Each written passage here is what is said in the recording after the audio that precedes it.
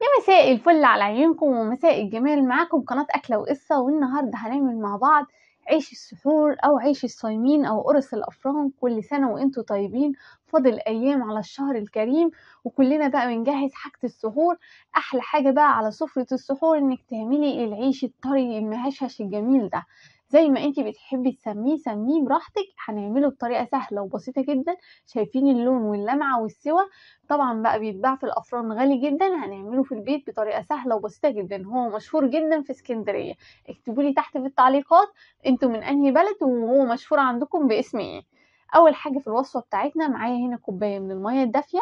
هحط عليها معلقة كبيرة من السكر معلقة كبيرة من اللبن البودرة وممكن تستغنوا عن اللبن البودرة وتستخدموا كوباية لبن بدل اللبن البودرة معلقة كبيرة من الخميرة وكمان هنضيف معلقة من الدقيق المقدار بتاع الدقيق أو الكمية اللي أنا هعملها النهاردة هي نص كيلو من الدقيق تقدري تضاعفي الكمية زي ما تحبي لو انت حابة تعملي كيلو دقيق. هنقلب بس الخليط ده مع بعضه شوية صغيرين ونسيبه يخمر حبة كده حوالي عشر دقايق. وده بيخلينا نتأكد إن الخميرة بتاعتنا شغالة ونقدر نكمل الوصفة بتاعتنا بكل نجاح. زي ما أنتم شايفين هنحط كمان عليهم معلقتين ونص من الزيت كمية قليلة جدا زي ما أنتم شايفين من الزيت وهقلبها حاجة بسيطة. والمادة الرافعة بتاعتنا معلقة كبيرة من الخل ومعلقة كبيرة من ال baking powder. ممكن تستخدمي نص معلقة لو حابة بس معلقة حلوة جدا على المقدار اللي إحنا هنعمله النهاردة. هيديكي نفشة وقبة كده شكلها جميل جدا والعيش هيطلع معاكي ناجح وحلو جدا. أهم حاجة في العيش ده إن انتي تخمريه في كل خطوة هنعملها زي ما انتي هتشوفي دلوقتي. أنا هنا معايا نص كيلو من الدقيق دقيق متعدد الاستخدامات. نخلت الدقيق الأول وبعد كده بدأت أستخدمه. هنزل بالدقيق كله يا دوبك هقلب الخليط مع بعضه وبعد كده بقى هنبدأ نزود المية بتاعتنا بالتدريج. أنا استخدمت إجمالي كوبايتين إلا ربع من المية. وهوريكي دلوقتي يعني أنا بستخدم كوباية تانية غير الكوباية اللي إحنا حطيناها في الأول. طبعا أنا حطيت على المقدار ده نص معلقة صغيرة من الملح. زي ما أنت شايفة كده هفضل أزود المية لحد ما ألاقي العجينة بتاعتي لمت معايا. ملمس العجينة دي بيكون بيلزق شوية صغيرين في الإيد. يعني انت تمسكي العجينة تلاقيها بتلزق في الإيد ولكن بتطلع من البولة بكل سهولة. هوريكي دلوقتي الملمس بتاع العجينة دي. طبعا العيش ده ليه قصة جميلة جدا. أنا كنت وأنا صغيرة آه كنت دايما بعدي على الفرن اللي جنب البيت بتاعنا وإحنا هنا في اسكندرية. طبعا العيش ده مشهور جدا هنا. آه دايما بقى ما كنت أقول لماما إيه ده يا ماما؟ أنا عايزة من الصغير اللي هناك ده. وطبعا ما كنتش أعرف إن هو عيش. كان دايما بيجيبوا لنا كان بيتباع بالواحد يعني تقريبا واحد كان بجنيه تقريبا بس دلوقتي بقى برقم يعني. كانت بقى بتجيب لكل واحد مننا رغيف من دول وطبعا بنكمل بالعيش البلدي أو العيش العربي. زي ما أنتم شايفين كده أنا لميت العجينة وهي بتلزق معايا وبعد كده بقى بدأت عجينة حوالي عشر دقايق. بعد ما تعجنيها عشر دقايق هتجيبي البولة بتاعتك وتحطي شوية من الزيت يا دوبك تغلف بس العجينة بتاعتي وهغطيها وأسيبها تخمر لمدة نص ساعة. فطبعا زي ما قلت لكم بقى كنت بشبط في موضوع العيش ده فأنا متعودة عليه من وأنا صغيرة وبحبه جدا جدا جدا وخصوصا في شهر رمضان. هو بيتعمل أساسا في شهر رمضان في الأفران. فطبعا دلوقتي بقى لما كبرت واتجوزت بقيت أعمله بقى أنا في البيت وبقت وعرفت الطريقة بتاعته سهلة وبسيطة جدا يا جماعة وهينجح معاكي من أول مرة. شايفين بقى بعد ما عدى نص ساعة فقاقيعي بقى وبشكل جميل جدا. حاجة كده قمر قوي بجد. أه تنسوش بقى تعملوا لي لايك القمر لو لسه مكملين معايا الفيديو لحد دلوقتي. واكتبوا لي بقى بتتابعوني من أنهي بلد. والعيش ده اسمه إيه عندكم؟ في ناس بتسميه قرص الأفران وفي ناس بتسميه آه عيش السحور وفي ناس طبعا بتسميه عيش الصايمين.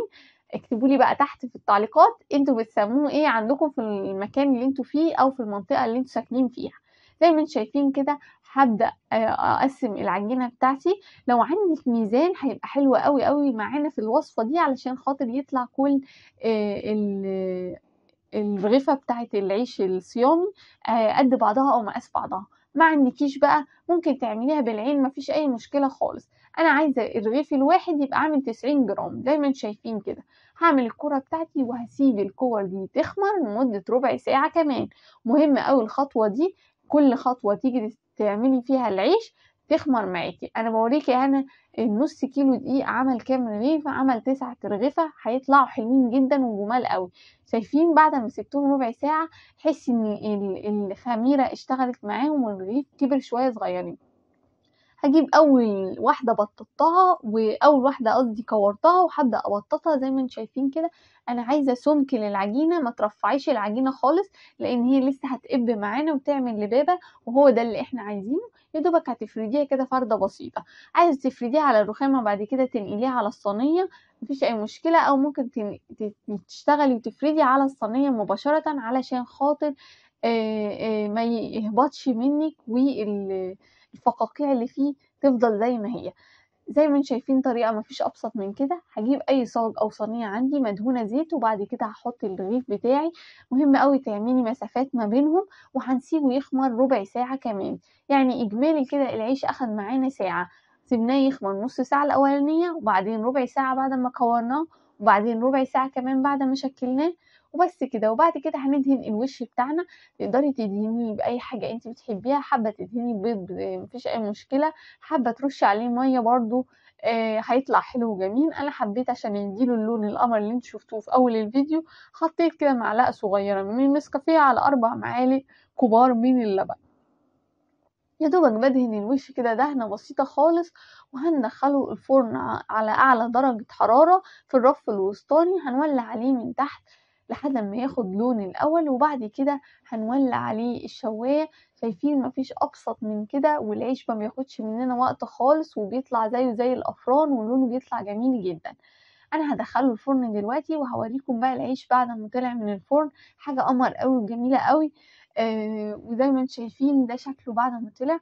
أنا أول ما طلع وهو سخن غطيته بفوطة بتغطيه بيطلع ناشف شوية صغيرين أول ما تغطيه بالفوطة تسيبيه عشر دقايق هتلاقيه بدأ يطرى معاكي.